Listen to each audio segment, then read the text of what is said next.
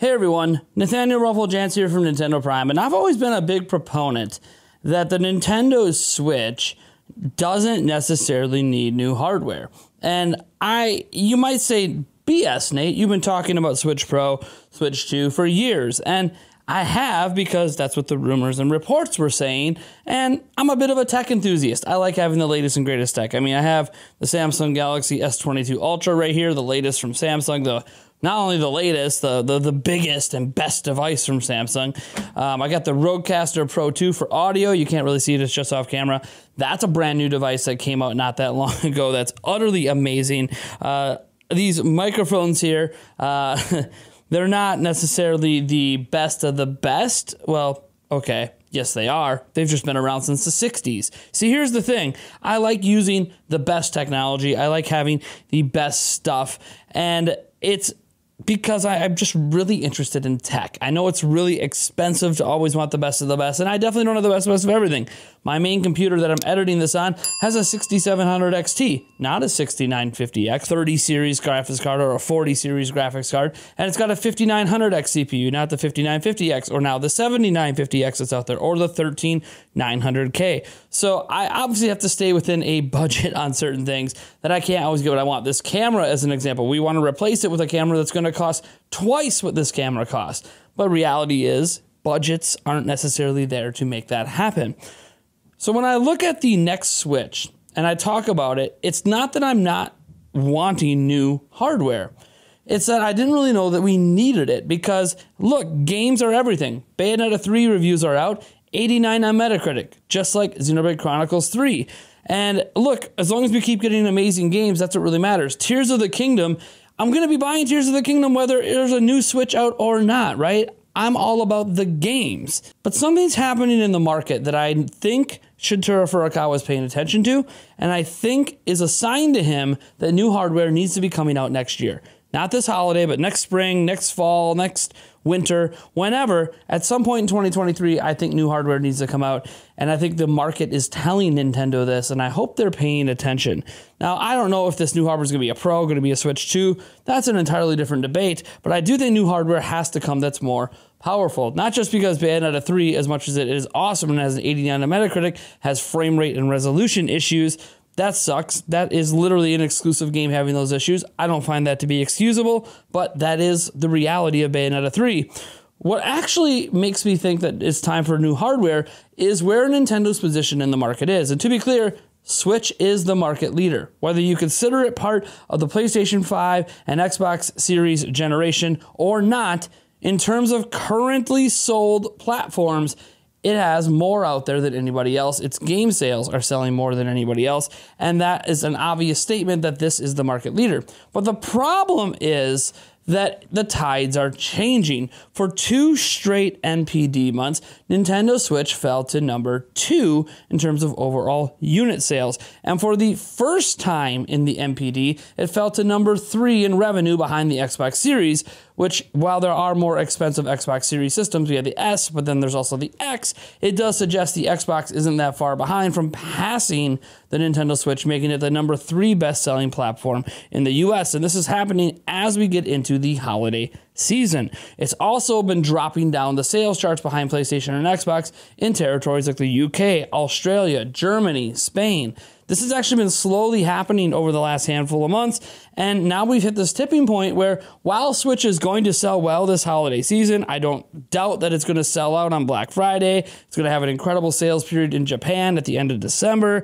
Pokemon's going to sell really well. Bayonetta 3 might end up being the best selling Bayonetta ever. I guess we'll find out on that front. And so much more. This isn't about the here and now. This is about recognizing a sales trend that is going to continue once we get out of the holiday period and show a rapid decline for Nintendo Switch. We've seen this. When we took a downturn like this, it went fast. Wii U never really got to any heights, and obviously its sales tanked fast. 3DS tanked fast. DS tanked fast. Once you get to market saturation and other platforms are starting to push your system down those sales charts, and you've been out for five, six, almost seven years, it is time to consider something new. And as of March 3rd of 2023, this platform, not the OLED model in particular, but the Switch itself, will have been on the market for six years. That is already a year longer than Nintendo's typical console cycle of five. Now, I mentioned it could be a Pro, which means the Switch cycle is continuing. It could also be a Switch 2.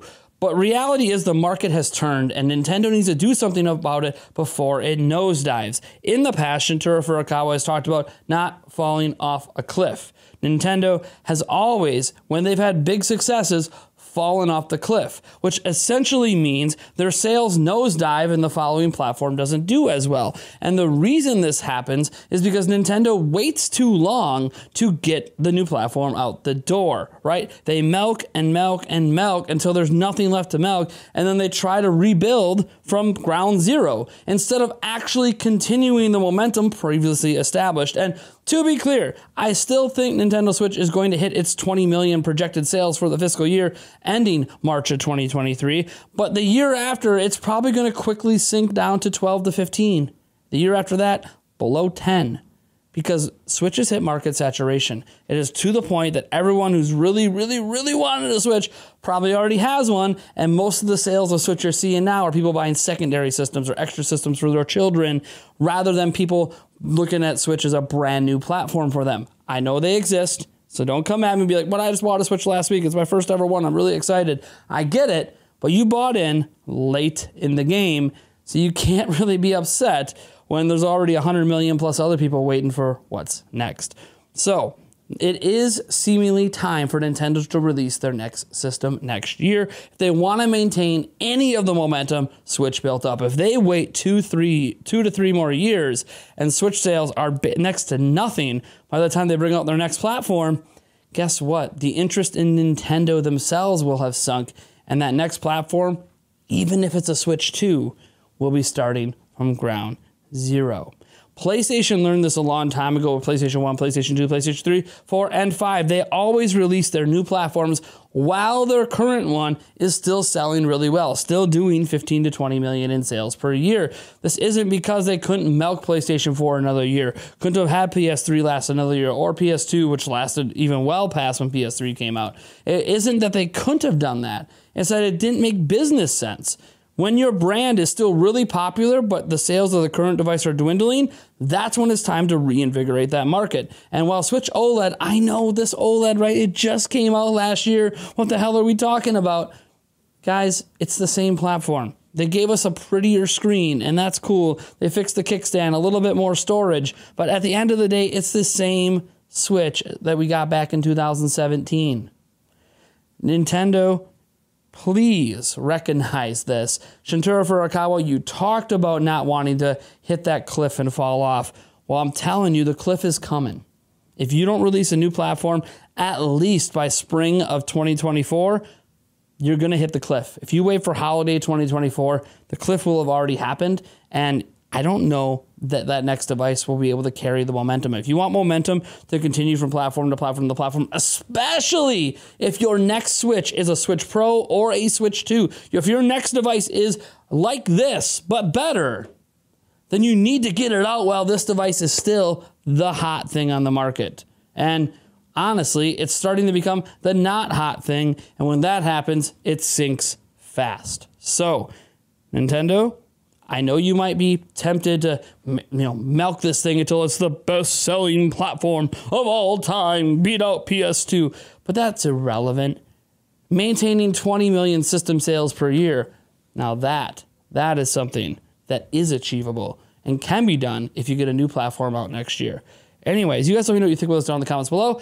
I'm Nathaniel RoboJants from Nintendo Prime. I'm just one man giving one opinion. I want to know what you guys think about this, and I'll catch you in the next video.